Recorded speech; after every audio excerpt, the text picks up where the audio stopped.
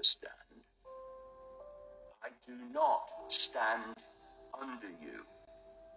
Also to say to the officer and the council official, whoever it is representing this scam called statute law, to say to them right at the outset, you are dealing with a living,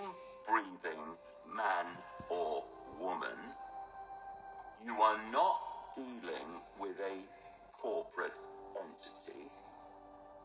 I do not consent to what you are doing, and I do not contract with you.